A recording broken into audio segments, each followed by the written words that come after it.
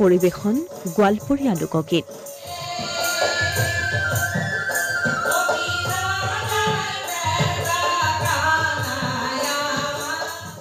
প্ৰথমবাৰলৈ মিনি ভট্টাচাৰ্যই পৰিৱেশন কৰিলে হিন্দীত গোৱালপৰীয়া লোকগীত।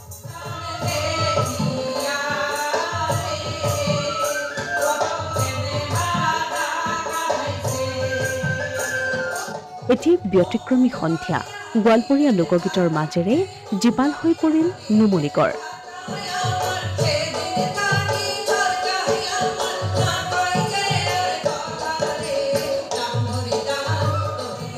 তাত শিল্পী মীনা ভট্টাচাৰ্যৰ কণ্ঠৰ যাদুৱে সন্মোহিত কৰিলে সকলোকে।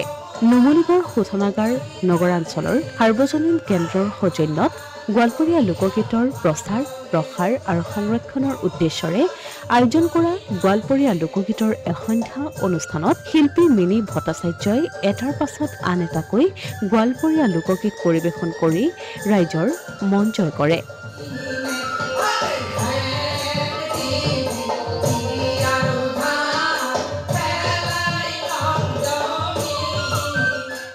শিল্পীগৰাকীৰ আশাসুধীয়া প্ৰচেষ্টাৰ এক আন্তৰিক উদযাপন গোৱালপৰীয়া লোকগীতৰ এসন্ধ্যা উপভোগ কৰি উপস্থিত সমূহ দৰ্শক শ্ৰোতা আপ্লুত হয়।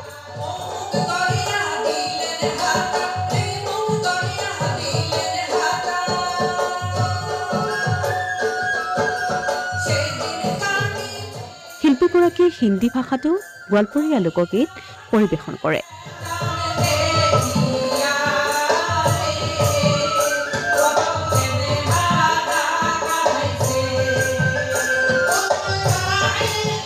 তেওঁ কয় অসমৰ লগতে ভাৰতবৰ্ষৰ ভিন্ন প্ৰান্তৰ ৰাইজৰ মাজতো গোৱালপৰীয়া লোকগীতে সমাদৰ লাভ কৰিছে।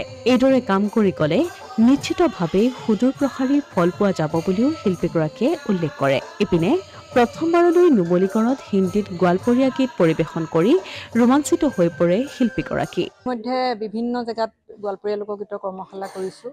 আৰু যিমান কোনোবাই ব্যক্তিগতভাৱে শিকিব খুজিলেও মোৰ ঘৰৰ বা বেলেগ ঠাইত গৈ মই তেওঁলোকক শিকাইছোঁ মই যিখিনি জানো মই বহুত জানো বুলি নকওঁ মই সকলো জানো বুলিও নকওঁ।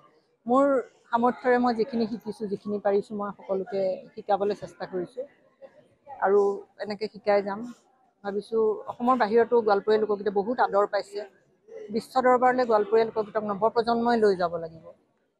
সেইকাৰণে মই ভাবোঁ আজি এই নুমলীগড়ৰ যিখিনি কণ কণ মাইনাকেইজনীয়ে নাচিলে সেয়া তেওঁলোকে মাত্ৰ দুদিন অনুশীলন কৰি পেলাই ইয়াত নাচিছে। গতিকে মই ভাবোঁ পাৰিব সকলোৱে পাৰিব। মই যেতিয়া গোৱালপাৰাৰ নহৈও গোৱালপৰীয়া লোকগীত পাৰিছোঁ তেওঁলোকেও পাৰিব নুমলীগড়ত থাকি পেলাই। এতিয়া মই আজি ইয়াত পৰিৱেশন কৰিবলৈ প্ৰথমবাৰৰ বাবে হিন্দীত এই গীতটি পৰিৱেশন কৰিছোঁ। এইটো এটা যুগজয়ী গীত। এইটো আমি যদি ভাৰতৰ বিভিন্ন জেগালৈ হিন্দীত লৈ যাওঁ কাৰণ মোৰ দিল্লীত এবাৰ গীত পৰিৱেশন কৰোঁতে সকলো যিখিনি মিডিয়াৰ পৰা মানুহ আহিছিল সকলোকে মই অসমীয়ালৈ অনুবাদ কৰি দিব চৰি হিন্দীলৈ অনুবাদ কৰি দিব লগা হৈছিল। সেই সূত্ৰে মই ভাবিলোঁ যদি এইটো হিন্দীত আমি এনেকৈ কৰোঁ তাৰ পৰা দেখিলোঁ সম্পূৰ্ণ গীতটি হিন্দীত মই নিজে নিজে ওলাই গ'ল। সেইকাৰণে আজি সাহস কৰি নুমলীগড়ত এই গীতটি পৰিৱেশন কৰিছোঁ। ৰূপৰেখা গোস্বামীয়ে সুন্দৰকৈ আধৰা অনুষ্ঠানত এন আৰ এলৰ মুখ্য আৱাসিক কাৰ্যবাহী হেমন্ত কুমাৰ নাথ আৰু মানৱ সম্পদ বিভাগৰ মুখ্য মহাপ্ৰবন্ধক ডক্টৰ কাজল শইকীয়াই বন্তি প্ৰজ্বলনেৰে অনুষ্ঠানৰ উদ্বোধন কৰে। প্ৰথমতে মইতো শ্ৰদ্ধাৰ মিনি ভট্টাচাৰ্যী বাইদেউলৈ ধন্যবাদ জনাইছোঁ। তেখেতে এই অসমৰ আপুৰুগীয়া সংস্কৃতি গোৱালপৰীয়া গীত ভাৱৰীয়া গীত বুলিও কয়। এই গীতসমূহক লৈ তেখেতে যে চৰ্চা কৰি আছে আৰু এই গীতসমূহক যে জীয়াই ৰাখিছে এইটো সঁচাকৈ প্ৰশংসা কৰিবলগীয়া। আৰু এইটো লোকসংগীত লোকসংগীত হ'ল মানুহৰ সাধাৰণ মানুহৰ স্বতঃস্ফূৰ্ত প্ৰকাশ। সাধাৰণ মানুহৰ গীত। এই যে সাধাৰণ মানুহৰ গীতবিলাকক আমি সদায় জীয়াই ৰাখিব লাগিব।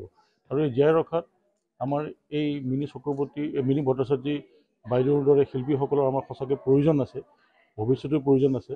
নহ'লে অদূৰ ভৱিষ্যতে এই গীত মাতসমূহ বা এই অসমৰ আপুৰুগীয়া সংস্কৃতিসমূহ হয়তো নাইকিয়া হৈ যোৱাৰ সংশয় আহিব পাৰে। অসমীয়া প্ৰতিদিন ডিজিটেল সংবাদ নুমলীগড়।